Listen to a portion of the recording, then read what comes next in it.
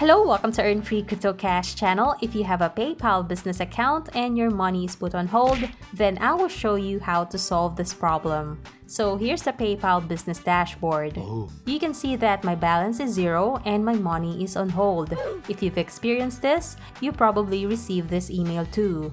It says here that it's only temporary and the reason is that I'm a new seller. What I can do is to provide a valid tracking number and or update the status of the product or service. Back to the dashboard.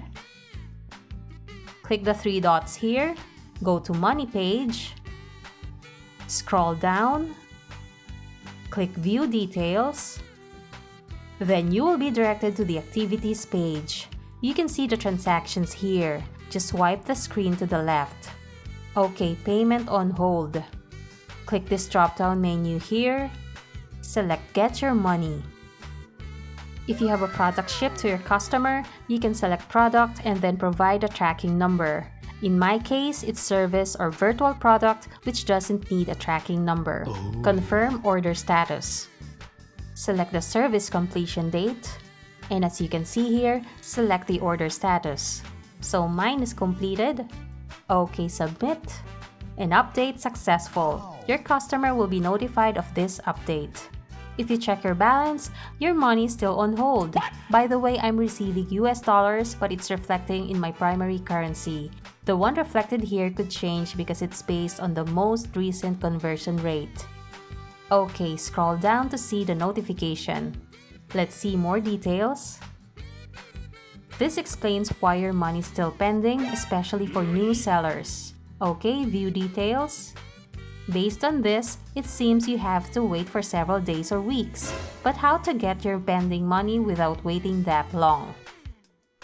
Let's click the three lines here. Click Activity. Then click All Transactions. You will also be directed to the same Activities page. I've already updated one order previously. Let's try another one. So, updating the status of your product or service won't make your money available right away.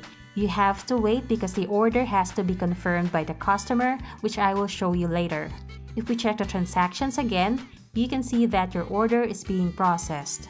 After 48 hours, your customer can confirm if he or she received the product. 48 hours later.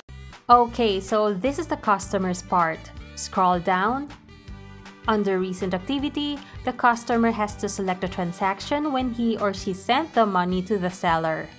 Then the customer will see the full details of the transaction. Scroll down. Okay, the customer has to answer this question. Have you received this order? The customer has to click confirm receipt. Okay, confirm. To the customer, thanks for confirming that you've received this order. Okay, let's try another order here. Take note that the customer can only confirm receipt of the order after 48 hours. It's important that the seller has good communication with the customer in order to receive the payment successfully. If your customer did not confirm the order, then you have to wait for several days for your money to become available. Back to the seller's PayPal business account. Alright, so the money is now available. It seems the US dollars went down a bit. That's okay. So the money is no longer on hold. You can now transfer money to your debit card or to your bank account. That's it. Thank you for watching. Like, share, and subscribe.